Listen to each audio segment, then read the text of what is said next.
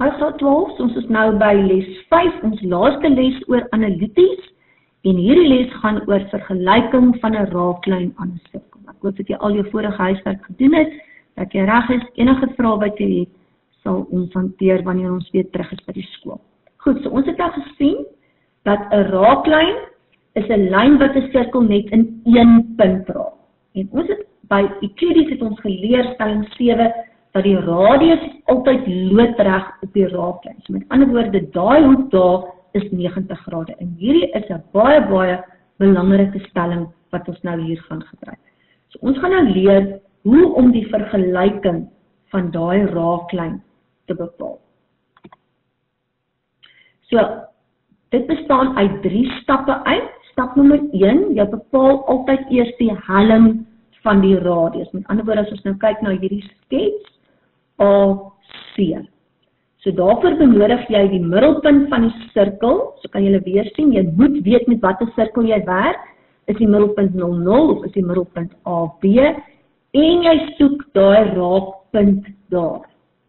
Dan bepaal jy nou heel eerste daai helling. Maar onthou, ons het die vergelyking van daai blou lyn. So ons weet die raaklyn is loodreg op die radius. So dan gebruik ons die feit dat die twee gradiënte moet saam min 1 gee. En so kry jy dan die vergelyking van ag die helling van die raaklyn. En dan jou laaste, jou derde punt is dan vervang jy dit in jou vergelyking in y min y1 onthou jy werk met 'n reguit lyn en maak jy x min x1 en wat is dit? Wat vervang jy in nommer 1 die helling wat jy daar uitgewerk het by punt nommer 2 en dan baie belangrik die raakpunt. Jy stel belang in daai punt A. En daai punt A daar. En dan werk jy dit uit. Goed. Kom ons gaan kyk na die voorbeeld. So die voorbeeld is bepaal die vergelyking van die raaklyn wat die sirkel x kwadraat plus y kwadraat gelyk aan 20 by 4 min 2 raak. So jy moet nou hoef nie die sketsie te teken nie, maar ek wys nou net daar vir jou, so dis nou min of meer so iets. Jy het nou 'n sirkel met 'n middelpunt en dan vir die raaklyn. So jy stel eerste belang in die middelpunt van daai sirkel en jy stel belang in die raakpunt. So daai P is 4 min 2 en die middelpunt van die sirkel is dan 0 0. Omdat dit in daai vorm is. x kwadraat plus y kwadraat gelyk aan r kwadraat. Goed. So dan kry jy werk jy die helling uit van OP. So OP is dan min 2 min 0 verandering van y op die verandering van x min 2 min 0 op 4 min 0 en dit gee dan vir jou min 'n half. So die helling van die radius is min 'n half. Maar ek soek die helling van die raaklyn. So die raaklyn en die radius is loodreg. So met ander woorde die helling van die raaklyn AB is dan 2.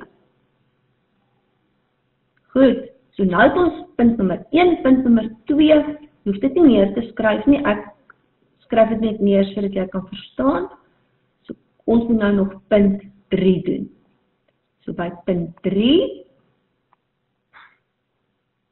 moet ons nou die helling en die raakpunt invervang in die vergelyking. So ons het nou gekry die helling van die raaklyn is 2 en die punt is 4 min 2. So in ons vergelyking y min y1 gelyk aan m maak jy x min x1. Vervang ons die helling met 2. Ons vervang die punt 4 min 2 in en ons kry dan y is gelyk aan 2x min 10. Julle raak baie keer hier teen mekaar, jy weet nie watter punt om in te vervang nie. Onthou net jy het nie hier 'n keuse nie. Baie ander plekke sê vir jou, jy kan nie enigiets enigiets van die twee kies een wat die maklikste is. Hierso moet jy die raakpunt kies, so jy werk met daai punt. Kom ons nog net gou-gou.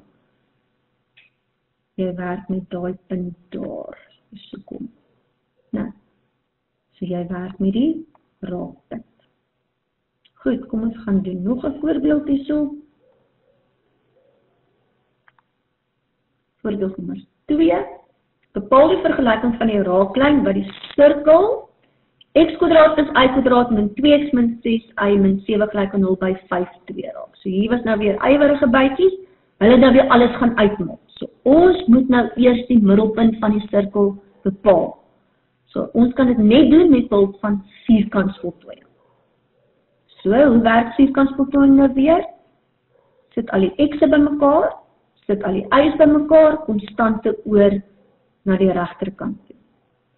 Die helfte van 2 is 1, 1 kwadraat is 1, en wat ek aan die een kant bytel, moet ek ook aan die ander kant bytel. Dan doen ek dieselfde met y, die helfte van 6 is 3, 3 kwadraat is 9. Ek aan die een kant bytel, moet ek ook aan die ander kant bytel. Dan voltooi ek die vierkant vir x en ek voltooi die vierkant van y, so ek kry x min 1 kwadraat plus y min 3 kwadraat gelyk aan 17 9 plus 1 plus 7 is 17. So met ander woorde, die middelpunt van daai sirkel is 1 3.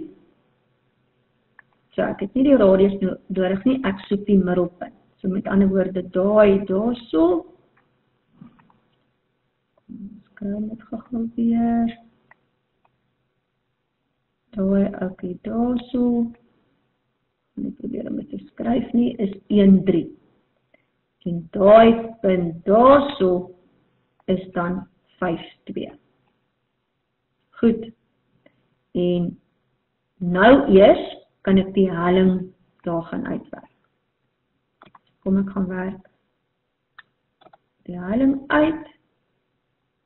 So die helling van daai radius is dan die verandering van y, die verandering van x en daai helling daar is dan ekskuus. Daai helling daar is dan 'n kwart. Maar onthou nou, ek het nou hierdie helling hierso. Nou daai stukkie daar. Kwart. Maar ek stel nie belang in daai helling nie. Ek stel belang in daai helling daar. Goed. So as daai ouetjie 'n kwart is, ek weet daai ouetjie daar is 90 grade. So as daai ouetjie 'n kwart is, dan is my helling min 4. So as die helling van die radius 'n kwart is, dan is die helling van die raaklyn min 4. So ek het my helling, ek het my raakpunt 52 en ek vervang dit weer in my vergelyking in. y min y1 en maak die x min x1. Dis ook net dat jy nie die x en die y omruil nie en jy vereenvoudig. Goed. Nou hulle kan hierdie nogal moeilike vrae waar hulle dalk vir jou die vergelyking gee en jy moet terugwerk, maar dit is eers belangrik dat jy baie mooi moet verstaan. Kom ons gaan kyk dit gou weer na jou stappe. Dit is regtig baie belangrik dat jy jou stappe verstaan. So jy kort die helling van die radius. Dan weet jy daai is loodreg, so dan m1 mal n2 is min 1 en dan kan jy die vergelyking van die lyn kan jy gaan kry. Goed, jou huiswerk wat jy hier vir my kan gaan doen is oefening 2 op bladsy 196 en 197, nommer 1, 2, 5 en 6. En dan as jy klaar is met daai, kan jy dan om analities te hersien, kan jy op bladsy 198 nommer 1 tot 7 kan jy gaan doen. Dit is nou al die vragies te mekaar. Ehm um, as jy dan nou klaar is met hierdie, dan is jy is jy klaar met al die graad 12 analities tot 10, 11 en 12. So jy kan dan nou in 'n vraestel 2 al die analities kan jy gaan doen. Maak seker dat jy dit verstaan en dat jy hard werk. Dankie Matrix, baie baie sterkte en mooi bly.